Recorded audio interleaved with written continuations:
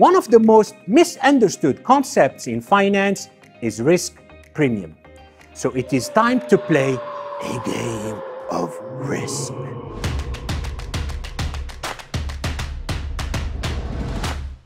The game is actually simple. We are going to flip a coin. Heads, you get $2,000. And tails, you get zero. And of course, you have to pay to play the game. Now let's do some analysis. If you were to play this game a million times, on average, you will make $1,000. Why is that? 50% of the time, you are going to get $2,000, and the other 50% of the time, you are going to get zero. The expected value, that's what we call this, is $1,000, and the math is 50 times 2,000 plus 50% times zero. Now, I'm not asking you to play the game a million times. I'm asking you to play the game only once. And because of that, hey, there is risk involved. If it works out, great, you're happy, you're gonna make $2,000. If it doesn't, it's a catastrophe, and then you get zero. It's a bad news. So, how my question to you is, how much would you pay to play the game? Would you pay $1,000?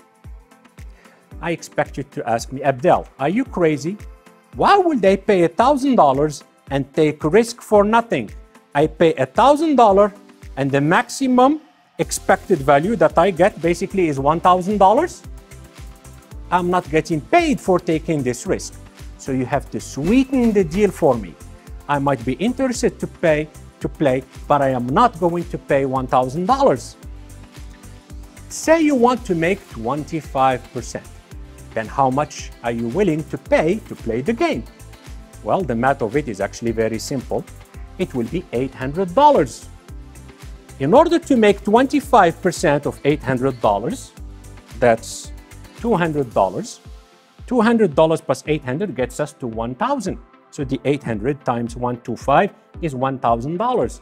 In another way, you could get to $800 by taking the $1,000 divided by 1.25.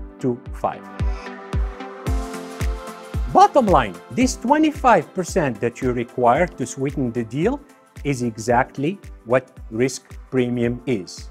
Whenever there is risk involved, you better require a sweeter deal to get compensated for the risk that you are taking. As you will see, this concept is really important because it's used to value stocks, bonds, and other instruments. Thank you so much for your support, and I will see you next time.